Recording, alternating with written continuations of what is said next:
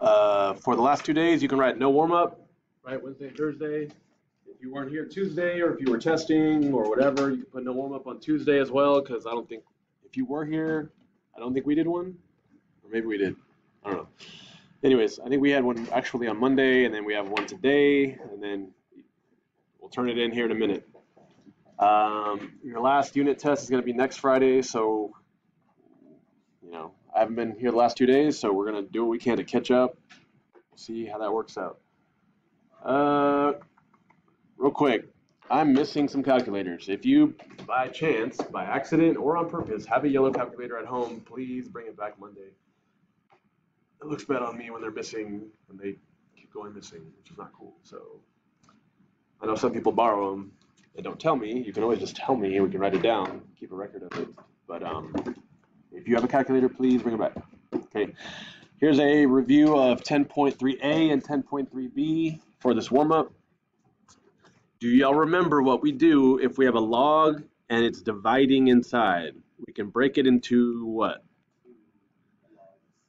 Okay, we can make two logs. What, what's going to go in between them if it's dividing? Subtraction, right? So if they were multiplying, it would be two logs being added, but since this is dividing, it's going to be two logs that are subtracting. So the first log is going to be the numerator, what's on top. Okay, so log base 2, the top is 3x, and then minus log base 2 of y. Okay, so again, you got the top minus the bottom, and then I would ask you, is that it? Okay, however, see right here that we have 3x? If you have 3x, what's happening between the 3 and the x? Yeah, that really means 3 times x, and we can still split that up even more. So if they're being multiplied, you can split them. What's going to go between them?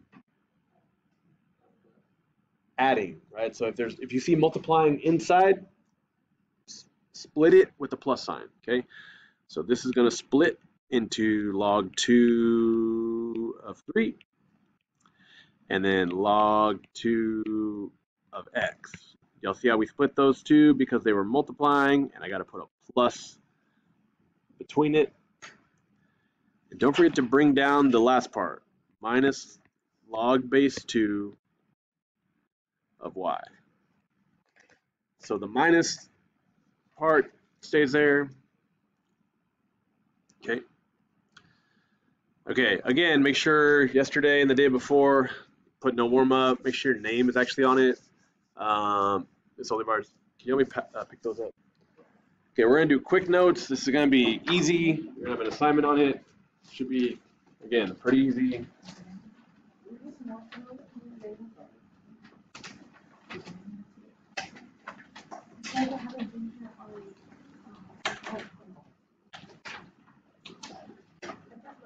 I have no idea. I.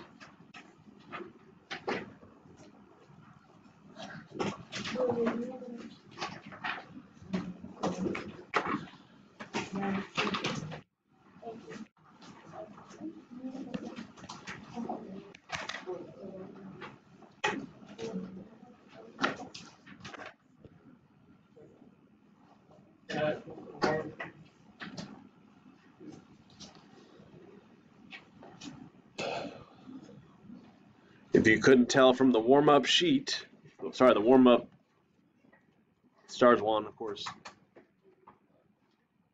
All right. Now, these notes are going to be short and sweet, okay?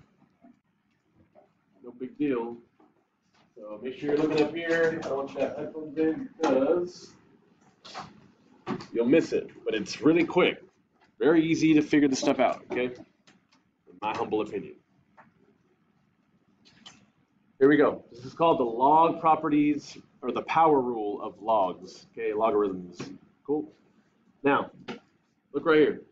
This this is your rule. Log base b of m to the power of k. So basically, if you have if inside your parentheses, how do I get this?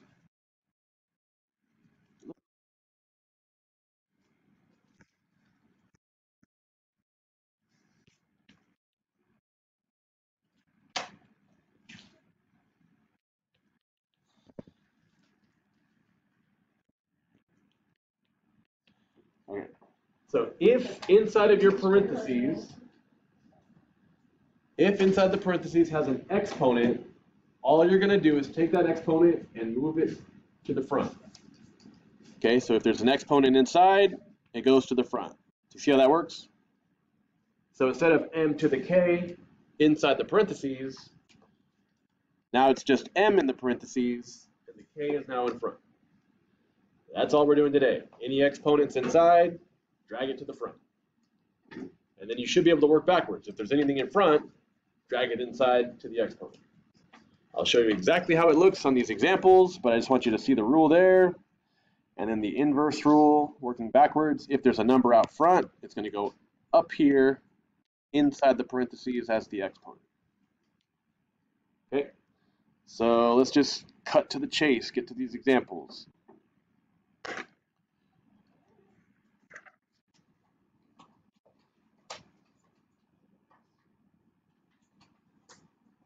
Um, you get the warm up later. Do a pass. So,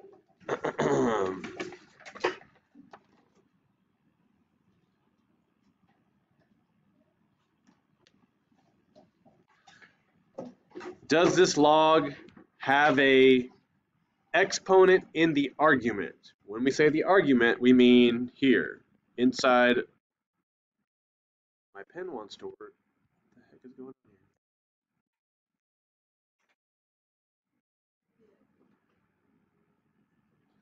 One second.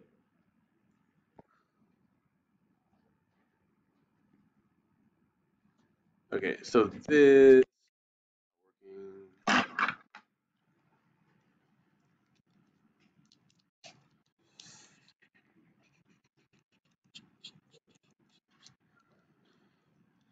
My apologies, my technology is not working. Here we go. So this right here is called the argument. Is there an exponent in that argument in the parentheses? Yes, okay. Again, we're getting near the end of the year and I want y'all to pass. So if you're looking at phones, I don't believe you want the same. The same thing. Give me five minutes of your life real, real quick. So I see an exponent inside the parentheses. I'm going to bring it out front. So it's literally just going to be 4 log base 2 of 3. That's it. Does everyone see that all I did was move that exponent out front? That's it. Not too bad, right? Let's try another one.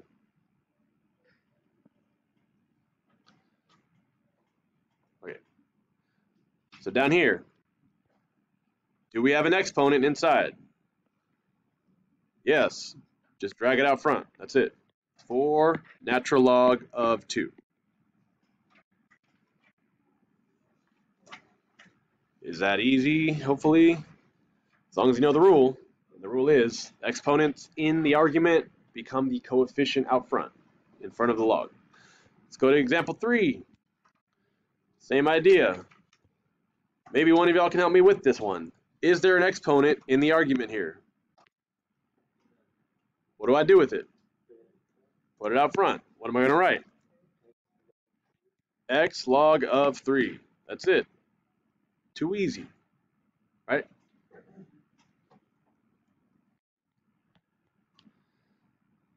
All right, let's try this one. In the argument, is there an exponent?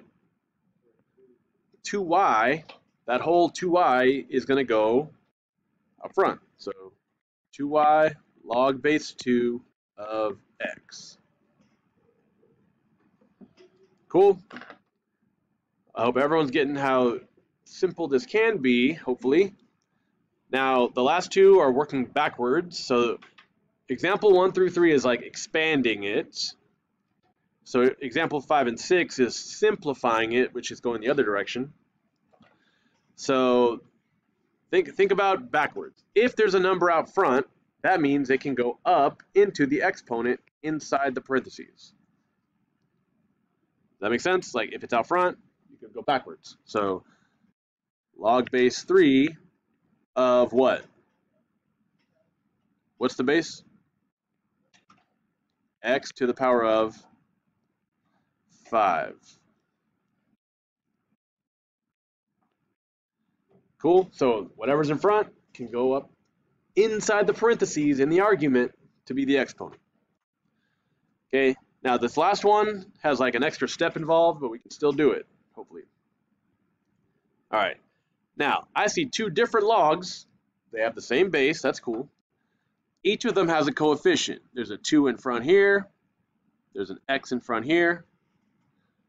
Each of those coefficients out front are going to become the exponent inside of these parentheses that I'm going to write here. So this 2 is going to become this exponent. This x is going to become this exponent. That makes sense? It's just two different ones in the same. Okay. So my first one's going to be log base 3 of what? x to the power of 2 or x squared plus log base 3. What's this one going to be? Say what? Okay, 5 to the power of x. It's not x to the power of 5 because remember, 5's already here.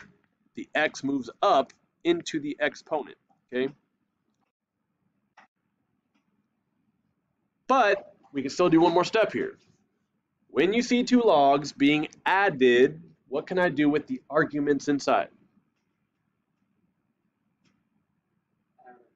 Not Adam. Let me remind you what we just did on the warm-up. Y'all remember this right here? When they're adding, it's because what were they doing inside?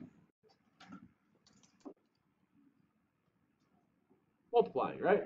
So again, if you're adding two logs with the same base, that really means you're just going to multiply them on the inside. That was 10.3a. We already did this earlier.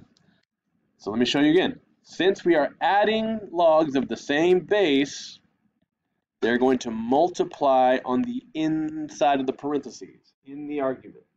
Okay? With me? Adding logs means multiply the insides. So inside, I'm going to put x squared times 5 to the x. You cannot actually combine those together into one thing because they have different bases. Okay? If the bases don't match, you just literally leave it like that. Okay?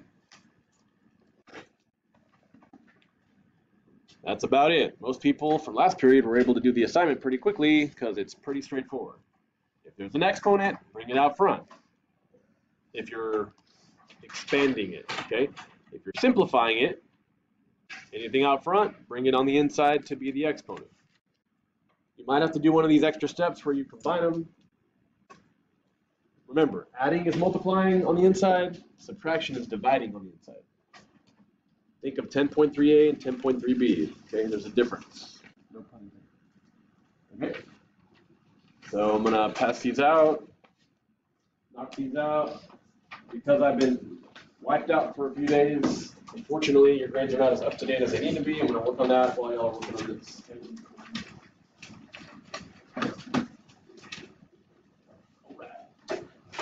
Let's get started. If you haven't done 10 3A, 10 3B, get those done too and turn those in.